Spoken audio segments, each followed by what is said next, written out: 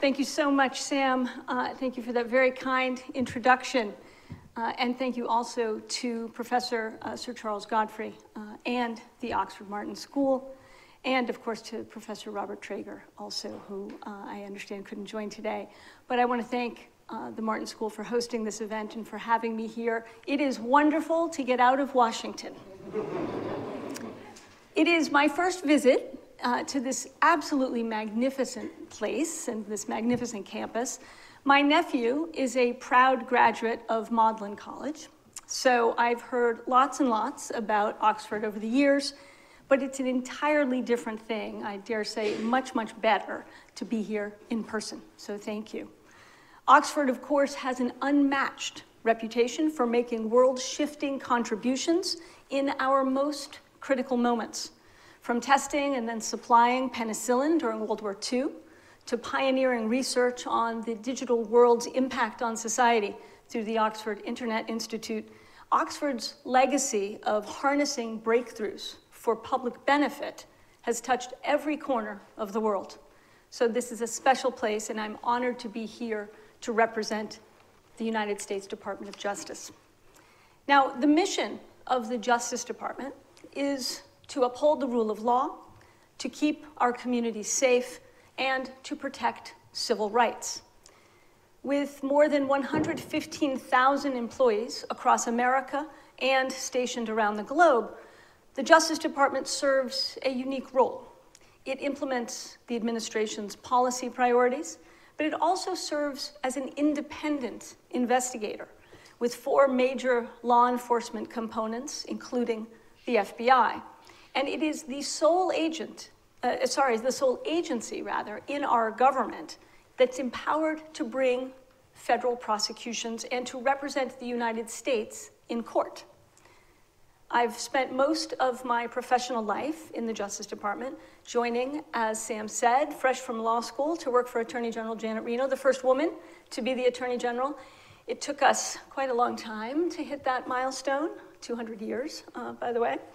Uh, I later went on, uh, as was noted, to serve as a federal prosecutor in Washington, D.C. Uh, and having served in both Democratic and Republican administrations and over multiple decades and through a series of inflection points, I've seen the Justice Department adapt to new threats and technological changes. In the wake of 9 11 at the FBI, I helped transform that agency from one solely focused on investigating crimes after the fact to a national security organization focused on preventing the next terrorist attack. And later, as head of our National Security Division, as cyber emerged as a increasing risk, we again reoriented to confront the threat.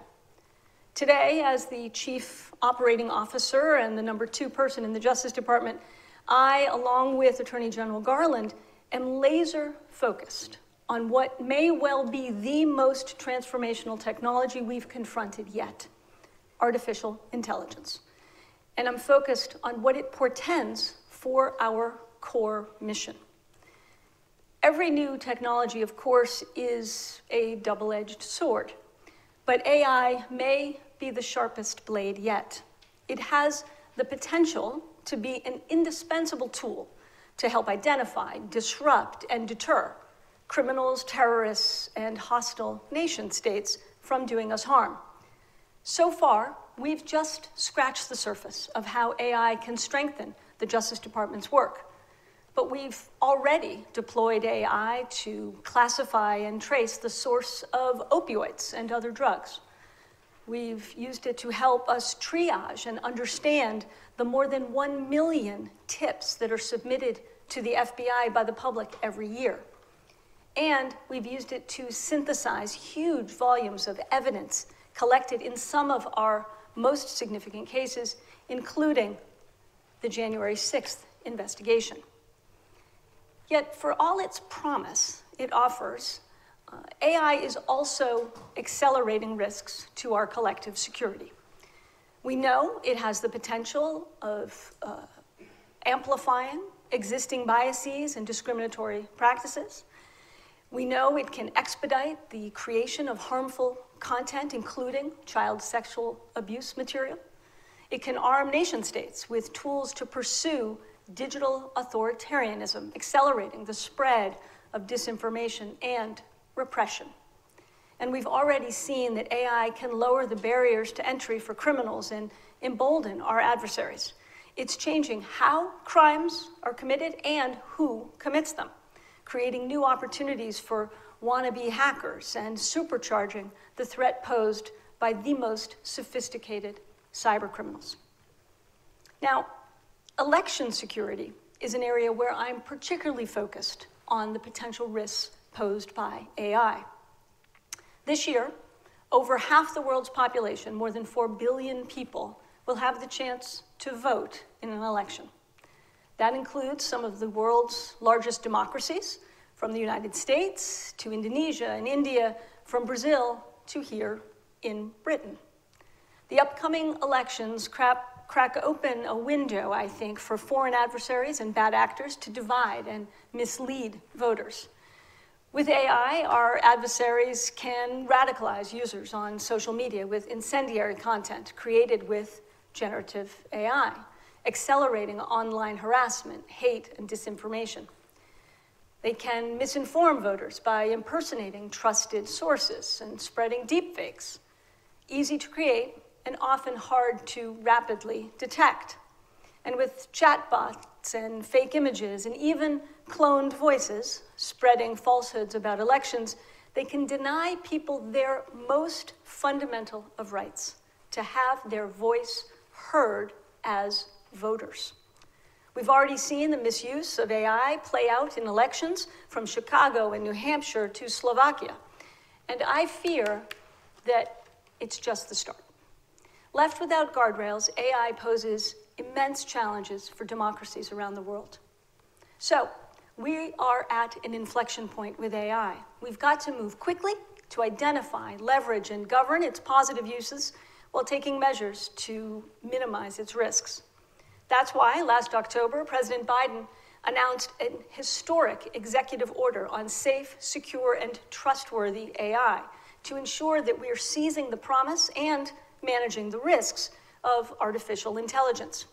Among other things, it establishes new standards for AI safety and security, protects Americans' privacy, advances equity and civil rights, and promotes innovation. It also charges the Justice Department to anticipate the impact of AI on our criminal justice system, on competition, and on national security. To seize the potential and avoid the dangers of advanced AI systems, the executive order summons the full power of the United States government. It directs agencies to use their existing authorities in new ways.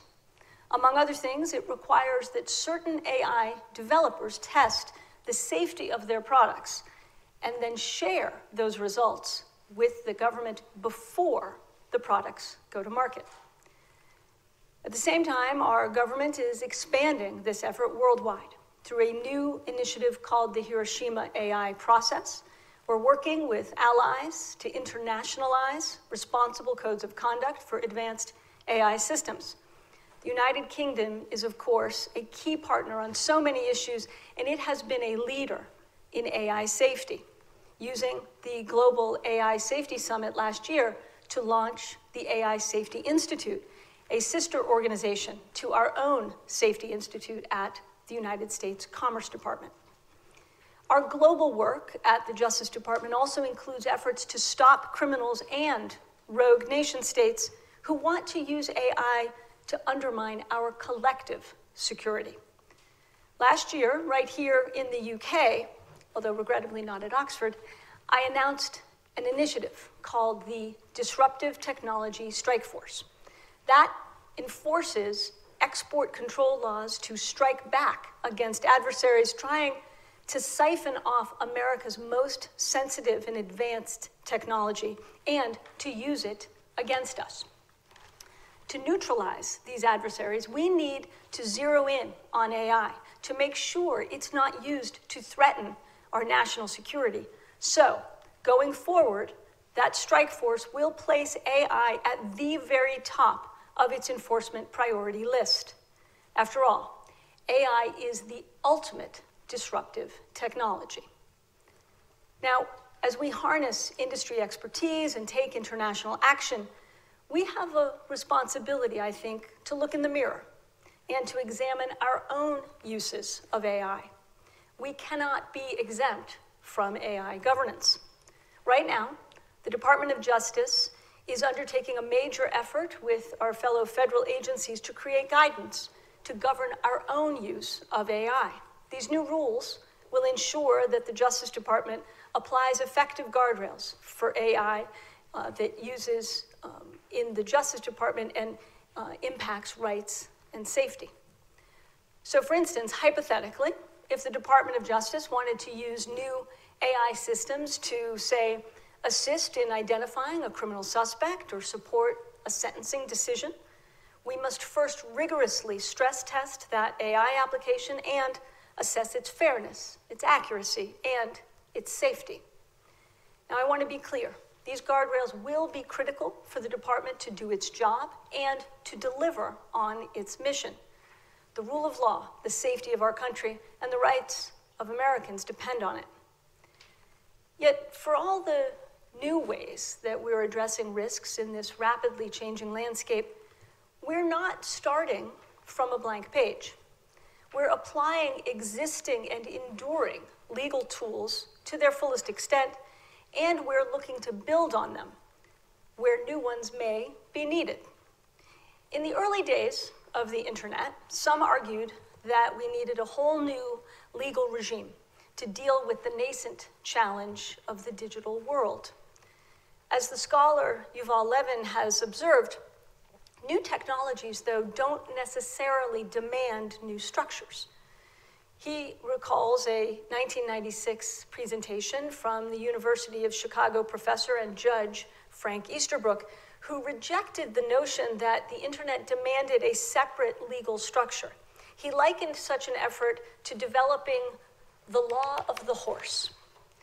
Judge Easterbrook argued that we've got lots of cases and precedent that deal with horses, the sale of horses, the racing of horses, even what happens when people get kicked by horses. But he cautioned that collecting these strands into a single law of the horse would be a mistake. Now, I'd like to think that the Justice Department heeded Judge Easterbrook's advice. We've evolved with the threat. We've applied and adjusted existing legal tools and added ne- needed technology and expertise. For instance, we're incorporating cyber into virtually every category of our work. The same applies to AI today. As it did with cyber, the law governing AI will develop, but our existing laws offer a firm foundation. We must remember that. Discrimination using AI is still discrimination. Price fixing using AI is still price fixing. Identity theft using AI is still identity theft. You get the picture. Our laws will always apply, and our enforcement must be robust.